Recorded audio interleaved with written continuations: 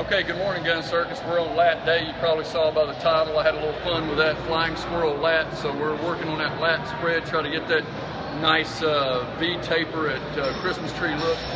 We've already completed uh, all but two uh, items here, so I wanted to show you just a couple quick exercises we're doing.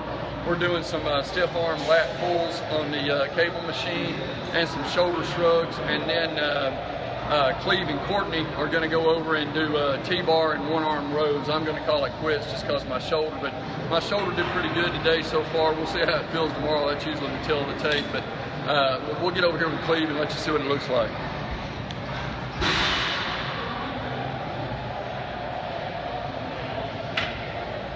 Now this is a single joint movement. Make sure you keep your uh, elbows stiff just like Cleve's doing.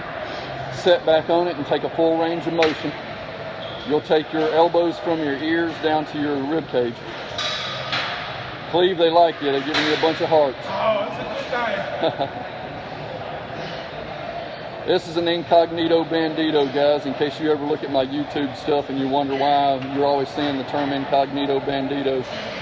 The group that we train with, we call ourselves the incognito banditos.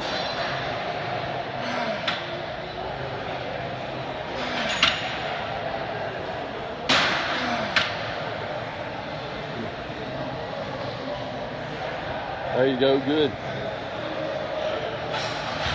Digital Dark Side, great name. All right, now we're going to go straight over to Shrugs. Courtney and him swapping.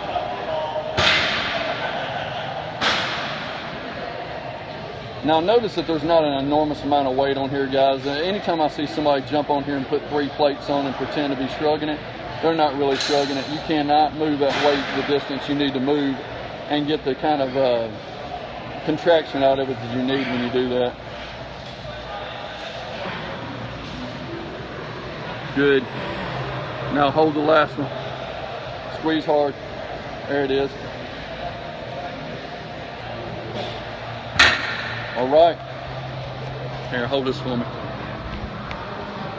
This one's shorter than normal, guys, but as you can see, short and sweet. We always show you just a little bit of what we do in our routine. If you want to see more, if you want to learn more about back training, if you want to learn more about shoulder training, whatever body part it may be, just go to my YouTube channel, uh, The Gun Circus, and there's just a whole world of five minute videos on there for you to see different routines that we do for different body parts and they're all labeled so you can tell which one that you uh, you want to watch. There's uh, for those competitive uh, folks out there there's some uh, videos on there for posing. Uh, there's also some videos on there for meal prep.